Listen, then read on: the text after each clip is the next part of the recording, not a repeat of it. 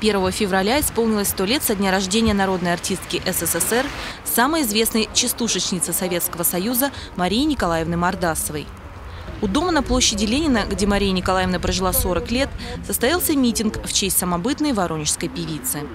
В квартире музея пришедшие ознакомились с обновленной экспозицией из семейного альбома, приуроченной к юбилею Марии Мордасовой, и вспоминали, каким светлым, одаренным и душевным человеком она была.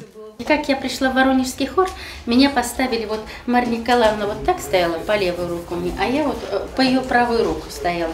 Хор вот, она посередине хора. И всегда, когда открывался, все ждали Воронежский хор, но все ждали, приедет ли Мордасова. Потому что Воронежский хор без Марьи Николаевны, это уже, как бы, знаете, немножко осадок оставался у людей. Все ждали ее выступления, будет она, не будет. И вот открывается занавес, и прям шепот по залу. Мордас, ума... вон Мордас, а рядом дочка. Вот с моим приходом в Воронежский хор у нее появилась дочка. Но я уже вот, судя по этой фотографии теперь, но давно еще, конечно, когда мы с ней фотографировались, я потом и поняла, почему вот по фотографии, посмотрите, какое-то есть сходство. И рядышком стояла. Ну, разница, конечно, я очень молоденькая. Мне было тогда 16 лет. И, естественно, это вот так вот... Хотя она не имела детей, она вот воспитывала племянницу. А потом она, конечно, умерла. Это большая была боль, трагедия. Вот.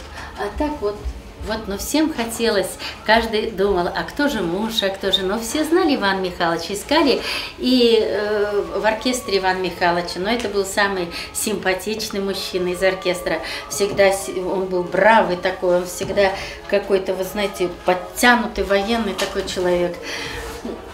Конечно, музыкант он от Бога, и наверное, вот Господь Бог не, не зря их соединил вместе потому что Мария Николаевна самая жемчужинка наша, и Иван Михайлович, какой он был аккомпаниатор, таких вообще мало, я вам хочу сказать, очень трудно и сейчас сыскать.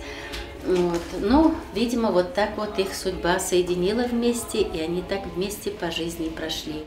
Собирательница и автор многих песен, частушек и припевок Мария Мордасова проехала весь Советский Союз и десятки стран мира, где с огромным успехом представляла Воронежский край.